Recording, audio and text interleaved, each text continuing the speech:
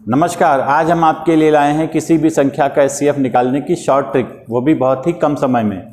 यहाँ पर कुछ संख्याएँ दे रखी हैं 10, 20, 30 जिसका एस सी 10 है 21, 42 का एस सी 21 है 16, 24, 40 का एस सी 8 है। आपने देखा हमने कितने कम समय में इन संख्याओं का एस निकाल दिया। आइए आज की क्लास में इसी एस की शॉर्ट ट्रिक के बारे में डिस्कस करते हैं।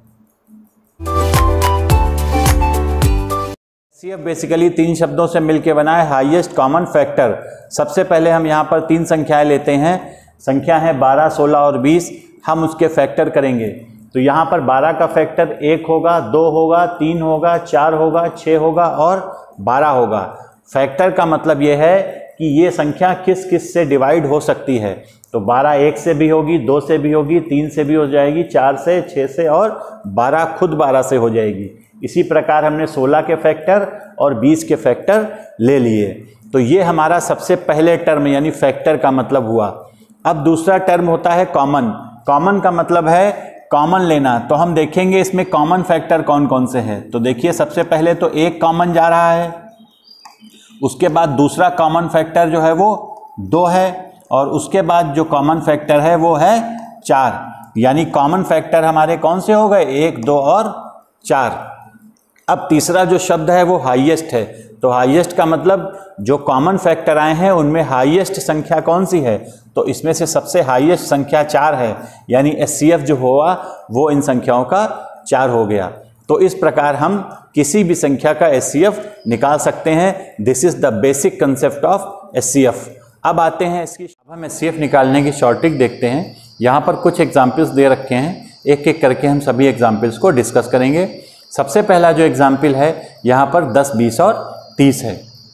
ऐसे केस में सबसे छोटी संख्या को सभी से डिवाइड करेंगे यानी 10 को 10 से डिवाइड करेंगे डिवाइड हो जाएगा।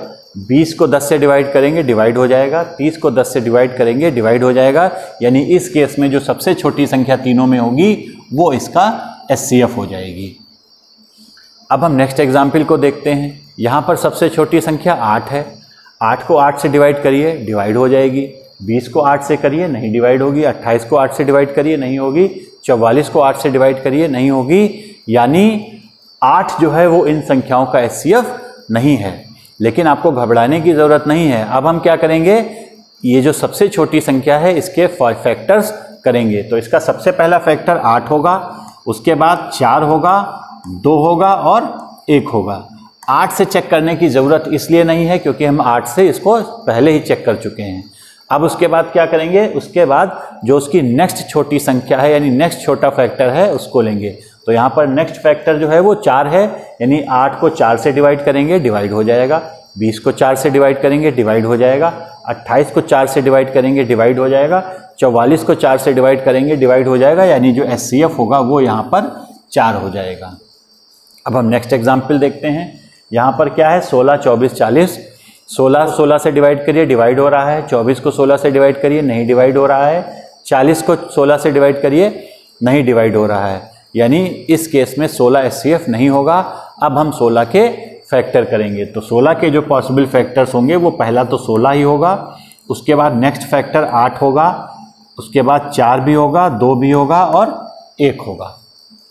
तो हम सोलह को तो चेक ही कर चुके हैं तो इसकी पॉसिबिलिटी तो बनेगी नहीं। अब हम क्या करेंगे? 16 को 8 से डिवाइड करेंगे डिवाइड हो रहा है। 24 को 8 से डिवाइड करें डिवाइड हो रहा है। 40 को 8 से डिवाइड करें डिवाइड हो रहा है। यानी इसका जो एस होगा, वो यहाँ पर आठ हो जाएगा। अगला एग्ज़ाम्पल देखिए। यहाँ पर क्या है? सबसे छोटी संख्या 24 है। 24 को 24 से डिवाइड करिए डिवाइड हो रहा है। 60 को 24 से डिवाइड करिए, नहीं डिवाइड होगा। चौरासी 24 से नहीं डिवाइड होगा। 108 24 से नहीं डिवाइड होगा। यहाँ पर हम फिर इसके फैक्टर करेंगे तो 24 के जो पॉसिबल फैक्टर होंगे, वो 24 होगा 12 होगा 8 भी होगा 6 भी होगा, चार, तीन, दो और 1 ये सब इसके पॉसिबल फैक्टर्स होंगे।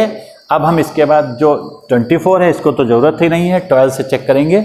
24 को 12 से डिवाइड करिए, डिवाइड हो जाएगा 60 भी 12 से हो जाएगा 84 भी 12 से हो जाएगा 108 भी 12 से डिवाइड हो जाएगा, यानी जो एस होगा यहाँ पर 12 होगा। अब हम लास्ट एग्ज़ाम्पल को देखते हैं। इसको देख के आपको घबराने की ज़रूरत नहीं है। संख्या बड़ी ज़रूर है, पर देखने में आसान है। ऐसे केस में क्या करेंगे? अगर हम साढ़े सात सौ के फैक्टर करेंगे तो परेशान हो जाएँगे। हम क्या करते हैं? जो कॉमन ज़ीरो तीनों में है, उसको हटा देंगे कैंसिल कर देंगे। अब हमारे पास जो संख्याएँ बचेंगी, वो हमारी रीच में आ जाएँगी, यानी आसान हो जाएँगी, यानी पचहत्तर सौ और एक सौ बीस हो जाएँगी। पचहत्तर को पचहत्तर से करिए, हो जाएगा। सौ को पचहत्तर से डिवाइड करिए, नहीं होगा। 120 भी 75 से डिवाइड नहीं होगा, यानी ऐसे केस में हम फिर से फैक्टर करेंगे तो 75 का पहला फैक्टर 75 होगा 25 होगा 15 पाँच, तीन और एक होगा। अब हम इसके बाद 25 से चेक करेंगे तो 25 को 75 को 25 से डिवाइड करिए डिवाइड हो जा रहा है 100 भी 25 से हो रहा है 120 25 से नहीं हो रहा है। यानी हम 25 को एक्सेप्ट नहीं करेंगे। 15 से चेक करते हैं, पचहत्तर को पंद्रह से करिए डिवाइड हो रहा है, लेकिन सौ पंद्रह से डिवाइड नहीं होगा, यानी पंद्रह भी इस केस में एक्सेप्ट नहीं किया जाएगा। अब हम पाँच से चेक करते हैं पचहत्तर भी पाँच से हो जाएगा डिवाइड, सौ भी पाँच से डिवाइड हो जाएगा, एक सौ बीस भी पाँच से डिवाइड हो जाएगा। यानी इस केस में जो एस होगा, वो पाँच नहीं होगा। एस जो होगा, वो इस केस में पचास लिया जाएगा, क्योंकि हमने ज़ीरो को जो है वो कैंसिल कर दिया था। तो ऐसे केसेस में जो एस होगा, वो 50 माना जाएगा। उम्मीद करते हैं आपको एस निकालने की शॉर्ट ट्रिक अच्छे से समझ में आ गई होगी। अगर मेरा चैनल अच्छा लगा हो तो इसे लाइक और सब्सक्राइब ज़रूर कीजिए। जल्दी ही हम कोई नई शॉर्ट ट्रिक लेके आपके सामने आएँगे। धन्यवाद।